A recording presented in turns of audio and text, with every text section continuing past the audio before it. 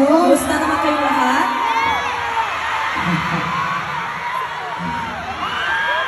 Kamusta, sir? Kumain na kayo? Anyan!